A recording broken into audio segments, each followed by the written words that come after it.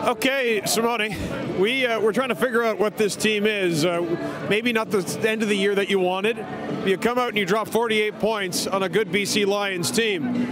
Yeah. Fill in the blank. Who the Ticats are? Ticats just a resilient group, man. It's a big team effort. All right, bro. Yep, already know. Sorry, how you give out again? Now? Bro, I, I blitzed three straight times before. All right, boy. Be safe. Yep.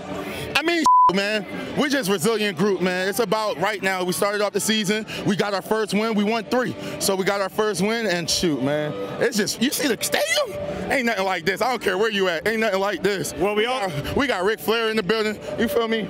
Oh, nothing happened like this. This is Hamilton football. This is what happens when you come to Hamilton. And how about that fumble? We also saw you run the length of the field. How you feeling? Oh man, I needed the oxygen tank.